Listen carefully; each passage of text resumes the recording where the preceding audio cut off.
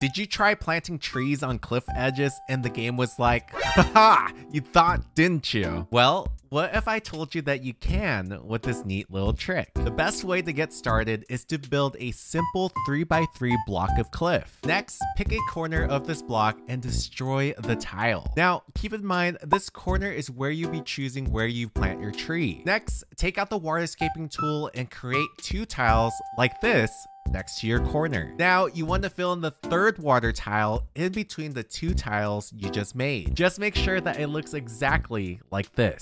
Finally, you can climb up with your ladder now and plant your tree. And after some trial and error, eventually you can do something like this.